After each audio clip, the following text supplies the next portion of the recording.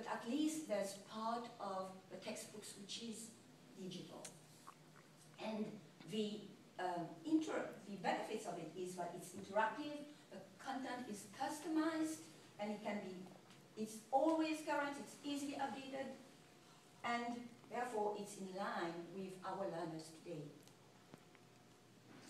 Remember the questions I asked at the beginning, the engagement challenge, like games. Just, just pose a little bit about games, how the games are able to allow the kids to take roles um, and, and just uh, learn to fail, but in a fun way. Learn to learn in a fun way. So um, that's interesting. The literacy challenge also, because not only reading, because most of these games, um, you have to read, but some of these games where there are the multiplayers, you need to write, for example, you need to convince the other players about your argument for some games.